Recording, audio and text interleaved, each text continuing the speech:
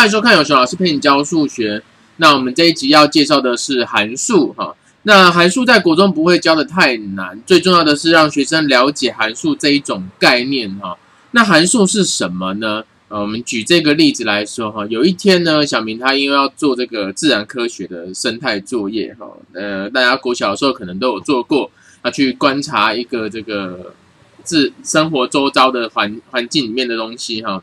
他说。哎，学校里面出现了一台神秘的机器，只要有同学去投入特定的圆形金属，然后按下某个按键，就会掉出不同的饮料。哦，啊，这个不就是贩卖机吗？我花了整整一个学期去观察哦，观察这个到底按下什么按键会得到什么饮料。按结果观察的结果如下：如果同学们按的是泡沫红茶，最后他就会拿到哎泡沫红茶。如果按的是书跑，最后他就会拿到书跑；如果他按的是可乐那个按键，他就会拿到可乐；按的是八宝粥，他就会拿到八宝粥。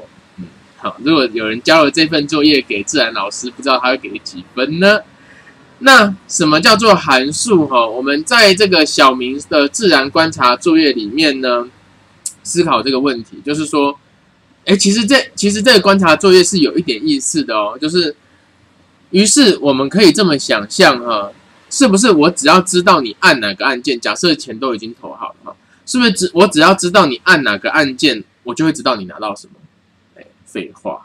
那因为这个实在是太生活化了，所以我们都会觉得嗯废话哈。但是这是很重要的一点哦。我知道你按哪个按键，我就会知道你会拿到什么饮料，对不对？反过来说，想一下，如果我没有看到你按什么按键，比如说我排在你后面呢？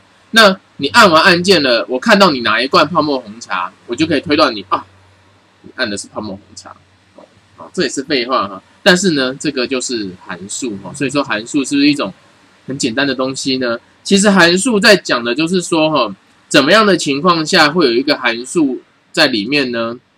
函数这个概念就是经过了一番的运作，好，于是你去给它什么？好像我们这里是按按钮嘛。你去按了按钮，经过了一番的运作，这一番运作就称为函数哈。经过了一番运作，于是你会得到一个固定的东西。好，那这样子就是有一个函数。好，所以这个机器啊，其实我们的贩卖机里面也有一些电脑的这个主机板哈，也有一些晶片在运算。你按下了这个按钮之后，它就收到哦。的这个一号按钮，一号按钮，所以他要去把某一个东西推推推推出来，这样子哈，最后你会拿到泡沫红茶。那所谓函数哈，来把这个抄在你们的笔记本上面哈。所谓函数就是后面写一番的运算。那我这里讲的运算不一定是指我们数学里面的那种运算哦，经过一番的这个作业啦哈。那怎但是是不是只要是经过一番作业的就可以叫函数呢？比如说我今天早上吃了这个奶茶跟三明治，那下午就上厕所拉出了一坨大便哦，那这样子也是经过了一番作业，那它是不是函数呢？啊？那个函数有一个比较严谨的定义哈，来我们看下面这句话：假如知道了 x，就会知道 y 的唯一结果。你有这么厉害，就是说你看到我早上吃了这个奶茶跟三明治，就可以判断，哼，你下午会拉肚子或者说你下午拉出来的会是啊 什么颜色的这样子，能够吗？其实是很难的，应该是不能的。我们在那个电视呃电影哦，犯罪的电影里面，那个警察都会透过解剖犯那个死者的胃部哦，那去判断说哦，他吃早餐吃了什么啊，然后几次几点几分死的。但是他也没有厉害到说一看胃部就知道他早上一定吃了两个三明治哦，这个三分之一杯的奶茶，他没有办法做到这样子所以我们没有办法。准确的知道唯一的结果，就不能够直接说它是有这个函数的关系啊。好，那要能够做到这件事情呢，知道了 x 就会知道 y 的唯一结果哈。比如说我刚才问啊各位，我是不是只要看到你按什么按钮，我就会猜中你掉哪一种饮料。根据这个小明哈，很辛苦的花了一整整一个学期的观察结果，每次按泡沫红茶都掉泡沫红茶，啊，每次按舒跑都掉舒跑，按可乐掉可乐，按八宝粥掉八宝粥。所以是的，我只要知道你按这四个的哪一个，就会知道你会拿到什么，这样我就可以说 y 是 x 的函数哈。我们把它看完哈，那记得在你的笔记本上面把它写完哈。如果我知道了 x，就会知道 y 的唯一结果。那么也就是说，y 其实可以用 x 来推估你会拿到哪一种饮料，看你按什么就知道了。好，那我们可以说 y 是经过一番固定转变过程的结果。那这个一番固定转变过程，就是所谓的函数。好，所以最后我们就会说 y 是 x 的函数，可以吗？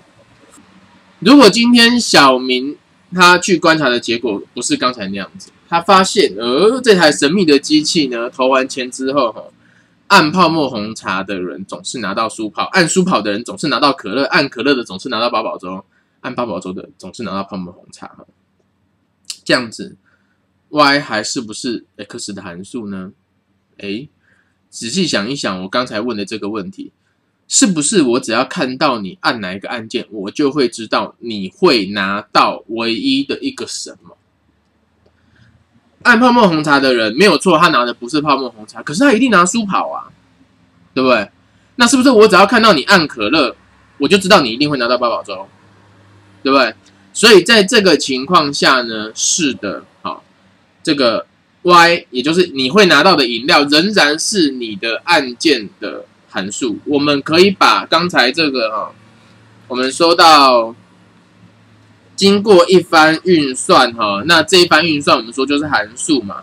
我们以一个这个英文符号哈，叫做 f 来表示这个函数的英文是 function 哈，function。那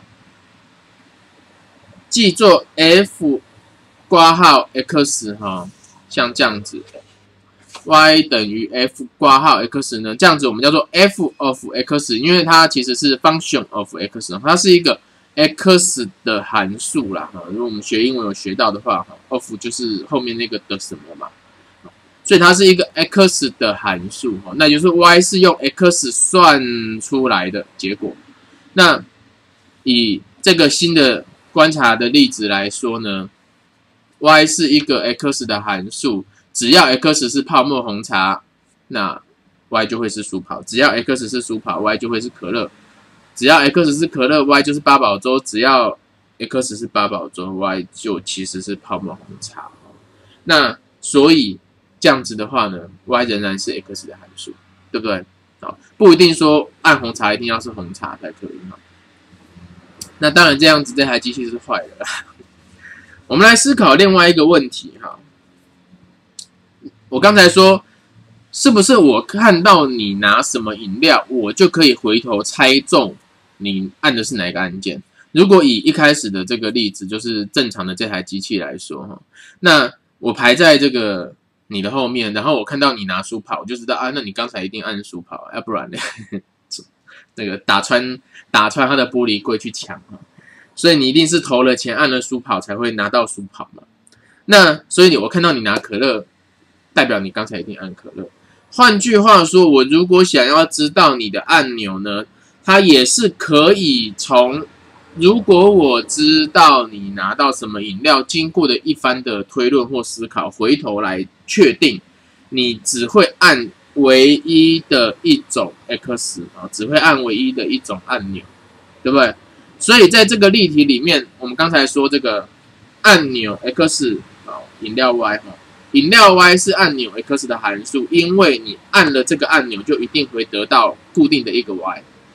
那反过来说，其实按钮 x 也可以说是你会拿的饮料的 y 的函数。啊，因为我看到你拿的是什么饮料，我就可以经过一番思考推定你只有唯一的一种可能，你当初按的是哪一个按钮？这样子。那再来看这个错字的这一台贩卖机哈，我们再来想刚才这个问题，我们已经知道在这个例子里面，你会拿的饮料 y 仍然会是你的这个按钮 x 的函数了。那么，请问你的这个按钮可不可以也说是饮料 y 的函数？x 是不是 y 的函数？所以去想同一件事情，我是不是看到你拿的饮料，我就会知道你刚才按什么？比如说哈，我们的小明非常的认真的观察了一个学期哈，于是他整理出这张表，然后他都不跟人家讲，他知道这台机器坏了，可是他都不跟人家讲，然后就每天在那个机饮料机旁边看好戏哈。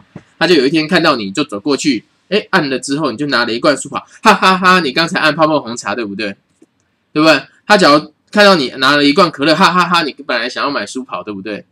好，所以是不是他是不是可以看到你拿？的饮料就猜中你本来要按哪一个按键，哎，其实是嘛，对不对？如果今天那台机器就是这么运作的话，所以虽然它错字了，但是呢，不但它的 y 仍然是 x 的函数，它的 x 也仍然是 y 的函数，因为我看到你拿的饮料，我仍然可以推估你的当初按的按键是什么哈。那么啊，在这里呢，就是建立起大家对于所谓函数的概念，函数是一番运算。经过这番运算，我只要让你知道 x 是什么，你就能够知道唯一的一个 y 的会是什么的话，那 y 是 x 的函数，也就是说 y 是用 x 推导出来的。好，那我们来想一些这个特别的例子。如果今天这一台贩卖机观察的结果不是刚才那两种，而是现在这样子哈，这个小明发现这台贩卖机。按泡沫红茶掉泡沫红茶，按舒跑掉舒跑，按可乐掉八宝粥，按八宝粥掉八宝粥。那这样子的话呢，这个这一台贩卖机哈，得到的饮料 y 跟按键 x，y 是不是 x 的函数？想一下吧，是吗？我们是不是我只要知道你按哪个按钮，就会知道你拿到什么饮料？是啊，对不对？我刚刚就讲过了嘛，按泡沫红茶掉泡沫红茶，按舒跑掉舒跑嘛，对不对？啊，好，那反过来说，是不是我看到你拿什么饮料就可以推论出你是按什么按键，可以吗？其实是不行的哦。你看，我看到你拿泡沫红茶哦，你刚才按的是泡沫红茶。我看到你拿舒跑，你刚才按的是舒跑。我看到你按，我看到你拿八宝粥呢，哎，很难说。对不对？好，所以说这一个例子里面呢，它的这个 y 是 x 的函数，但 x 不是 y 的函数。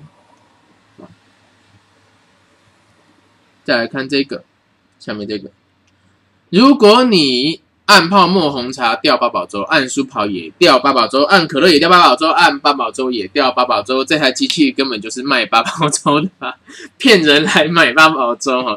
那个运动过后非常的累 啊，来喝个舒跑好了。嗯，又是八宝粥。那个八宝粥卖太多，哎，生产太多卖不掉，那于是要骗人来买。所以我是不是可以从你按什么按键就可以判断？你拿什么？事实上，你根本不用按，我就知道你会拿到八宝粥嘛，对不对？啊，所以是，我看到你按了某一个按键，我看到你按的是什么按键，我就可以推断你一定会拿到的是什么，就是 一定是八宝粥。反过来说，是不是我看到你拿八宝粥，我就可以看到，我就可以判断你刚才按的是什么？不行。所以这题也一样，这个啊，饮料 Y 是。F of x 哈，y 是用 x 推论出来的，y 是 x 的函数，但是按钮 x 不是 f of y，好，按钮 x 没有办法用 y 去推论出来，好，x 不是 y 的函数。如果今天这台贩卖机变成按泡沫红茶掉八宝粥，按书跑掉书跑或米台木。按可乐掉的是可乐或炒米粉，按八宝粥掉的是空肉饭啊！洗啊腰啊，一定要吃到东西就对了哈。那这样子的话呢，想一想哈，下一个问题哈，这个大家思考一下。下一个问题，以下又举了另外两个例子哈。我们在讲这个函数哈，我们说这个函数是经过一番运算然后又要说运算一定有唯一的结果，才会才能说这个 y 是 x 的函数。那我们学过的运算最多的不就是哈，在国中学到的一大堆的，就是方程式多项式的计算嘛，对不对？所以想想看，如果我们的 x 就是 x，而 y 是二 x 加二的时候，这样子，它是不是它的？哎，y 是不是 x 函数？那 x 是不是 y 的函数？下一题，如果 x 就是二 x，而 y 是 x 加二，那 y 是不是 x 的函数？x 是不是 y 的函数？好，那。想想看这两个问题哈，上面这个问题和下面这个问题，到底谁是谁的函数？那照惯例在学生思考的时候，我们来闲聊一下。这个我们曾经有聊过哈，这个生物演化的过程，我们说演化论呐，它并不是进化论哈，就是说我们不能够说生命一直在进步，进步越来越厉害哈，但是它生命一直在寻求，每个生命都在寻求最适合自己现在这个。状态哈的这个方法，当然他们会被淘汰掉。你可以说他是因为不适者被淘汰了哈，不适应。但是适应不代表就比较厉害哈，可能是劣币驱逐良币，我们没有办法去为什么样叫做比较厉害来去做定夺。当然更不能够说某一种物种，比如说人类就是比较高明的哈。那在这个生物学上呢，在演化论的这个争论里面，有一个很有名的例子，就是。那个教会哈，基督教团体，因为一开始演化论推出来，它是被教会给攻击的哈，因为那个圣经里面说，上人们人是上帝用他的造型创造的嘛，那怎么可能会是用黑猩猩来演化的呢？哦，上帝又不是黑猩猩，所以呢，这个他们是反对这个演化论的。那当时这个反对的声浪啊，有一个很重要的核心，就是说，他们说人的眼睛呢。眼睛是一个极为精密的这个装置哈，你看着眼睛是万物之灵，它好像可以做很多事情，然后很精密，然后这个很容易坏掉啊，然后这个啊就是很神奇就对了哈，灵魂之窗嘛，对不对？那这种这么精密的东西，怎么可能是慢慢演化出来的呢？你有看过半颗眼睛吗？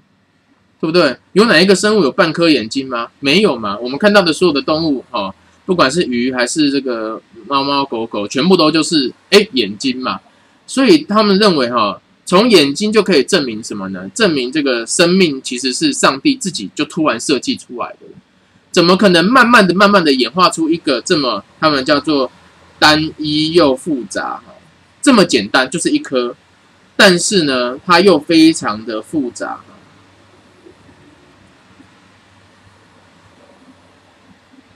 它不可能是慢慢的从一开始只有一颗球，然后后来有一颗什么，或者是半颗球，慢慢的变一颗球之类的，啊，它一定是突然之间就有了。那是谁让它突然之间就有的？哦，一定是神。所以那个时候反对演化论的人，哈，他们有一个很重要的主张，就是从眼睛来去推论，啊，这个单一又复杂的东西不可能是演化的结果，哈。那在不久之后，的确这个主张在。一段很长的时间里是被认为是有可信度的哈，但是在过了一段时间之后呢，这个生物学家们哈找到了一个相反的例证，就是说他们发现呐，人的眼睛有盲点，好，人的眼睛有盲点，什么叫做我们你们应该都有听过盲点这个词哈，那但是我们在一般在听到的时候都都是指譬比喻。比喻说，你想事情有一个地方没有想到，这就是你的盲点，你知道吧？那但是事实上，人的眼睛真的有盲点，也就是说，你眼睛看过去，哈，就好像假如说你今天看电视荧幕，电视荧幕，假如说这个地方坏掉了，那你这个地方就会看不到黑黑的一点，哦，那个其他的地方画面一直动一直动，但是这个地方就黑黑的一点，一直都是一点，或者是白白的一点，哈，那个附带一提啊，你们假如买新的荧幕。买买回来用放大镜检查，发现它有超过三个亮点，就是像这样这样子坏掉的地方哦，可以拿去退货。对，那这个人的眼睛哈，其实也有一个盲点。那他们后来就是我随着这个科学的进步哈，发现这个盲点为什么呢？很是很奇妙的哈，就是因为我们一般哈，像你看电视机哈，假如说这是一台电视机哈，我们横横着看它，那前面是它的荧幕啊，不知道你们家里还有没有那种很大台的电视机，就很大的方形的那种电视机嘛？那你只要留意，或者说哎平板也可以的。总而言之，前面是荧幕哈，那这个电视机的电线都是在后面的嘛，对不对？废话，不然呢？电线脚从前面出来，不就 穿出来了吗？主机板在这边嘛，对不对？电的电电视的主机板在这边。好，那如果电线是往前面跑的，那不是会从那个荧幕穿出来嘛？所以当然是从后面跑。可是人的眼睛呢？诶，就是这么的笨呢。它的电线是从前面出来。我们的瞳孔哈，视网膜在这边，然后最后视神经哈，呃，不是，瞳孔的哈，讲。我讲角膜，讲错了。瞳孔在这边的哈，视网膜、视神经在后面哈，感感光感光细胞在后面。可是很奇怪哦，我们的视神经的线并不是从后面伸的，是从前面伸的，就好像电视机的电线是从前面出来的一样哈。那从前面出来，哎，怎么没有从眼睛出来？因为他们在前面这里汇聚到同一个点上，汇聚到同一个点上之后呢？再从这个在底下哈，在视神经这里钻一个洞，然后从那个洞钻出来。每个人都有，每个人都一样。所以你的视神经上面有一个洞，那个洞就是用来让那个视，诶，不，你的视网膜哈上面有一个洞，那个洞就是让视神经从前面收集成一整束，然后穿回去到后面，因为要从后面接回脑袋嘛。所以呢，这个这个点哈，它穿的这个点就会形成盲点。那我把它画的很下面，事实上还有可能在中间，所以人的眼睛其实是有盲点的。好，那于是科学家就说证明了哈，你看人的眼睛不完美，这个刚才说的单一又复杂的这个构造哈，并不是这个有力的推翻演化论的论证，因为其实眼睛并不完美啊。那后来哈，但是这个眼所谓眼睛不完美的学说，因为在当时哈。演化论在一开始出来的时候，的确很多人对它的认识是进化论嘛，所以他们会认为人类并不是进化到最完美的物种，所以人类，好，如如果上帝是完美的，他以他的形象来创造，哈，那这个他应该要把人类的眼睛创造的很完美才对。可是过了不久之后呢，生物学家自己哈，同时就推翻了包括这个教会的说法和之前生物学家的说法，因为他们。找到完美的眼珠了，在某一个生物的身上有，刚才我说这个视神经向后延伸的这种眼珠。好，那哪一种生物呢？章鱼。哇，这件事情引发了轩然大波！难不成上帝是章鱼吗？章鱼的眼睛是向后延伸的哈，但是发现这件事情的生物学家们，因为是比较后来发现的了哈，他们对演化论的想法比较。这个完整哈，所以他们就提出了一个说法，就是说，其实这个道理很简单呐。人类的眼，人类的视神经之所以向前跑，而不是向后跑的原因，是因为啊，我们眼人类的人类的眼睛需要高大高强度的使用，所以我们要很认真的一直盯着东西看。那你的这个就好像肌肉哈，你如果一直出力，你就会疲劳嘛，所以你需要那个血管去输送氧气。如果你有看。看过那种运动员哈，你们学你们班上有人很爱运动，田径队的，你就会看到他这个二头肌这边哦，会有一条，呃，他的，哎，画的好烂啊，这个，啊，拳头啊二头肌，拳头啊，你就看到他的二头肌这边有一条血管哈，浮浮上来哈，那就是因为他大量的使用他的肌肉，所以他的血管要比较粗，同样的道理。因为我们大量的使用我们的眼睛，所以我们的视神经需要血管来支援，所以我们的视视神经呢，必须要第一，它呃呃呃，我们的不是视神经，我们的感光细胞，好，它必须要第一个要最贴近血管，所以它的后面的这个位置是留给血管的，它跟血管贴在一起的话呢，它才可以从血管得到大量的氧气。那章鱼因为它在海底，所以其实它不需要一直用眼睛盯着什么东西看，所以它可以离血管远一点没有关系。它后面先放视神这个视神经的线路。那是所以是因为这样的原因呢，哎，其实我们人眼睛有盲点这件事情，对我们来说是必要之恶啊。其实这样子可以让我们眼睛有更好的效能。那补充这件事情给大家哈，不过也从这里可以了解到，就是每个生物是演化往往各自需要的方向哈。那你需要在什么环境底下生活，你就把自己演化成这样。来看一下底下这里哈，这个刚才的问题，泡沫红茶如果按按泡沫红茶会得到八宝粥，按苏跑会得到苏跑或米台木，请问哈是不是你按某一个按钮，你就会知道你会拿到什么？不是啦，因为你按苏跑就不一定会得到什么，对不对？你不知道你会拿到苏跑或米台木嘛，所以 Y 并不是。啊，y 并不是 x 的函数哦。好，那再反过来问，我是不是看到你按了某个东西？我是不是看到你拿着某个东西，我就可以回推你按的是什么？如果你按的是，如果你拿的是炒米粉，你刚才按的是可乐；如果你拿的是苏跑，你按的是苏跑；如果你拿的是米台木，你按的是苏跑。如果你拿的是八宝粥，你按的是泡沫红茶啊；拿空肉饭的人按八宝粥，所以它的 Y，哎，所以它的 X 哈，它的按钮反而可以从饮料推知，所以它的 X 是 Y 的函数啊。这是这一题，下面这个是不是我知道 X 就会知道二 X 加二是，所以 Y 是 X 的函数哈。那是不是我知道 x 加二是多少就可以知道 x？是啊，假如说 x 加二是五，就可以解出一个唯一的 x 嘛。所以其实 x 也是 y 的函数，就是说我知道 x 加二是多少，就会知道唯一的一个 x。再来，是不是我知道 x 加二是多少，就会知道二 x？因为我知道 x 加二是多少，我就会知道 x，那我就会知道二 x 嘛。所以反过来说，我只要知道二 x，我就会知道 x，我就会知道 x 加二是多少。所以这两题哈，x 是 y 的函数，y 也是 x 的函数，可以吗？那最后教一件事情，就是说，如果 y 是 x 的函数，而且它的这个一番运算过程啊，说穿了就是把 x 乘三减十啊，可以吗？所以那请问 x 等于二的时候，y 是三二乘三减十啊，六减十负四哈。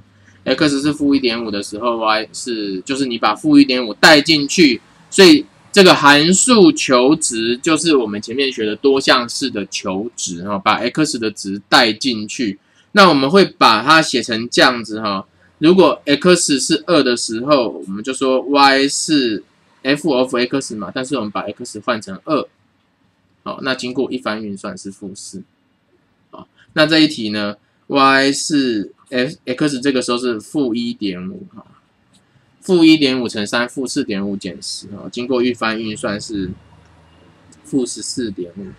如果 y 是负十一，那会 x 会是多少？y 是 f of x，我现在不知道 x 是多少，可是 y 会是把 x 乘以三减十，结果它是负十一嘛？所以其实我可以解方程式，对不对？所以三 x 等于负十一加十负一，x 其实是负三分之一。所以其实这个函数的运算哈，已知 x 求函数值就是多项式求值啊，已知函数值回头求 x 就是方程式求解。那最后这个是作业。